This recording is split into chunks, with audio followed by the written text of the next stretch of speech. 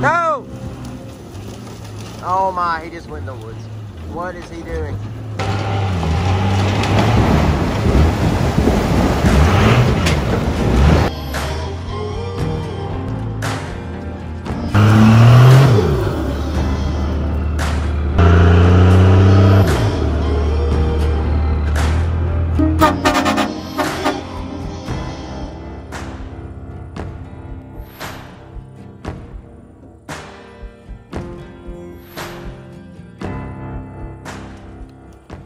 Hello, friends, and welcome to the next episode of trucks that we think are extremely nice, but are actually clapped out pieces of junk that have a rebuilt title that we didn't tell the buyer about. I bought this second gen a couple months ago. Now, I ask, I always ask. Now I have proof here. I always ask, does this truck have any problems whatsoever? I don't care if it's, I don't care if it's low on turn signal bulb filament. I want to know about it. Okay, I say, is there any problems whatsoever? No. There's no problems. We got about 500 yards down the road. Long story short, this puppy broke down. All the codes. T1693. Oh! Oh, God. Oh.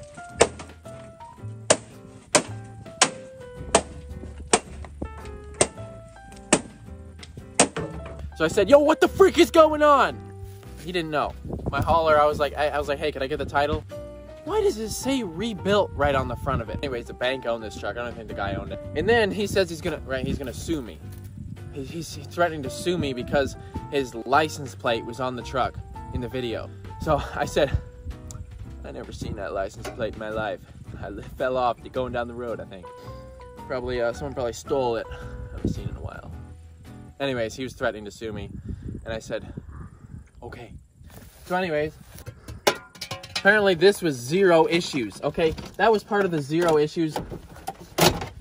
Maybe this was part of the zero issues. I don't know. But I'm glad some 16 year old kid didn't get this as their first truck and uh, get a loan from the bank and be stuck with it because they would have been screwed over. Like, usually that's something you tell people. I'm just saying. I'm just saying that's usually something you tell people when you sell a truck. If it has a rebuilt title, that's like something to mention, you know. But anyways, this is no big deal. It's not like it affects me at all. We bought this 53 foot semi trailer.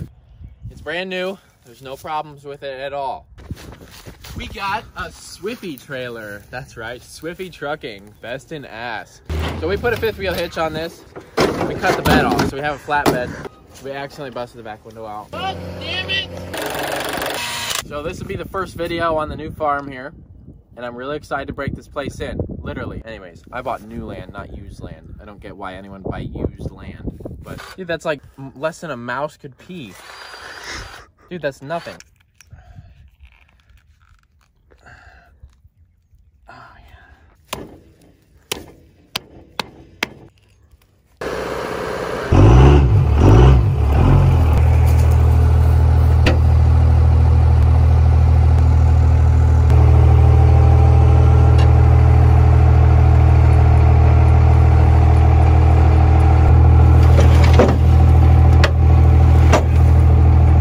Okay, Cody, you're good.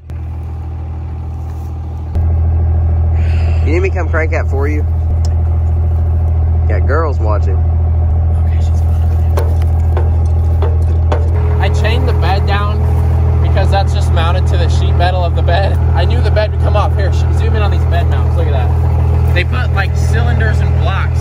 Look at that cylinder holding the bed up. And there's nothing here. One block there, it's not on the other side. And then more cylinders back there. Like it's a four inch body lift. That truck squatted a good like eight inches.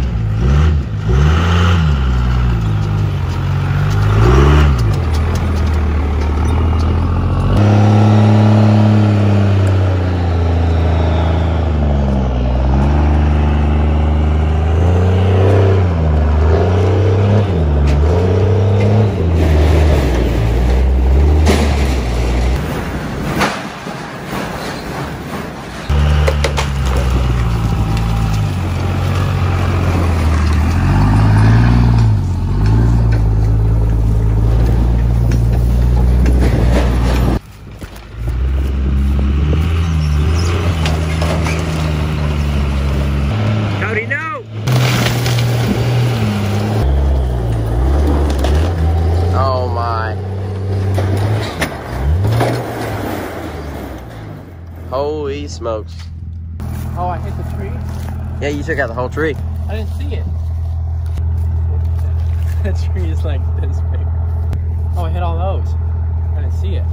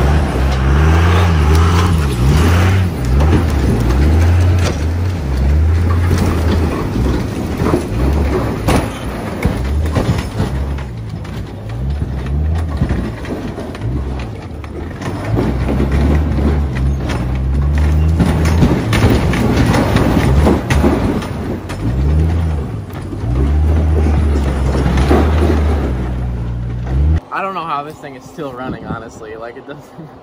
Going over those bumps, uh, like the front end's getting air. When I hit the rocks, the track bar's only bolted on this side, so it's like peeling off of the other underside a little bit.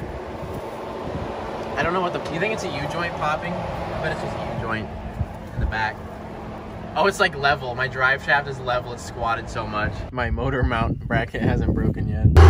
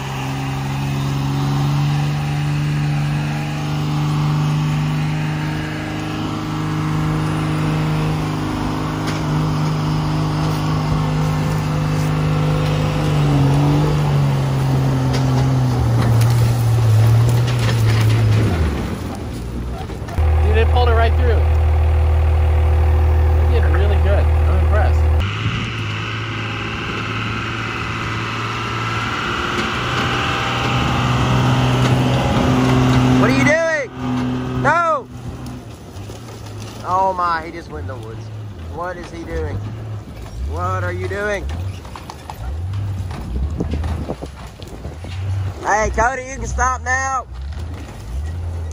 No, he's not stopping. And I think that's it.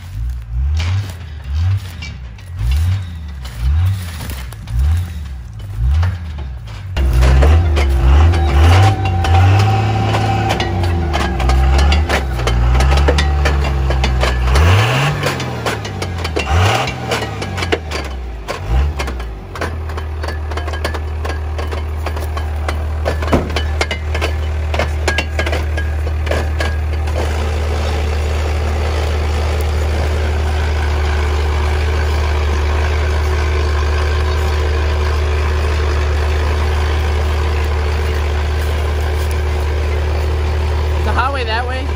Yeah, you missed it. How did I make it this far? I don't know. I hit the first like 10 trees and I was like, okay, it's gonna get caught up. And it just kept going. It was like plowing over everything. Holy crap. I think the clicking sound was my diff. I think it was missing a, te- a tooth on the gear. Oh, okay. My diff went out. My rear drive shaft is spinning.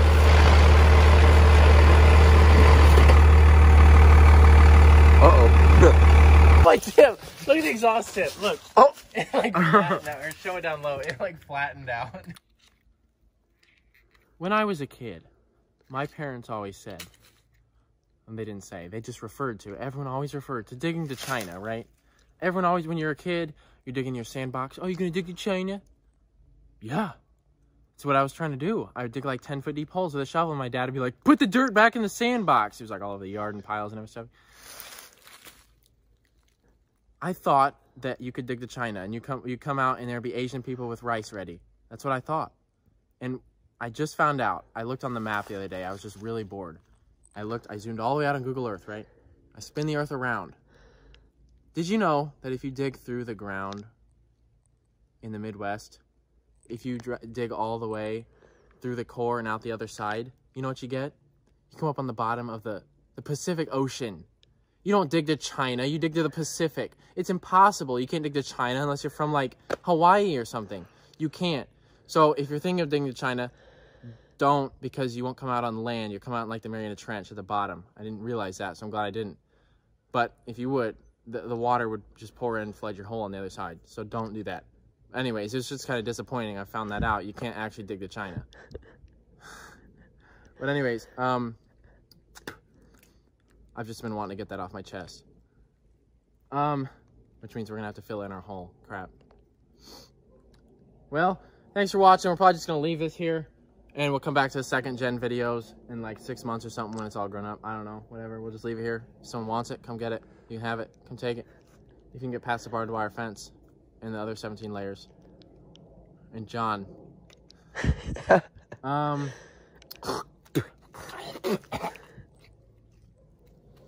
Ticks again.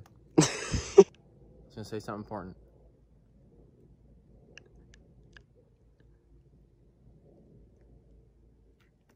What was I gonna say? I was gonna say something.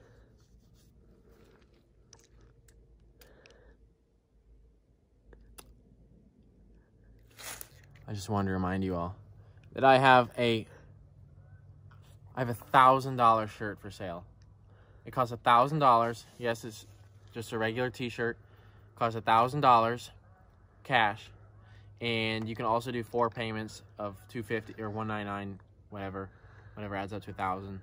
You could do four payments and you can do layaway on it or whatever. But if you want that, it's on my website. It just says this shirt costs a thousand dollars on it. So everyone knows instead of getting like Gucci, you just get the thousand dollar shirt. And well, he spent a thousand dollars. They don't have to guess. I mean, it can be like fourteen hundred or seven fifty. But this one's obviously a thousand. But if you want, if you want the thousand dollar shirt, go get it. I've already sold literally like 180 of them. Is it illegal to fake numbers? If I think it is. I sold three of them. So if you want one, then I would have sold more than three.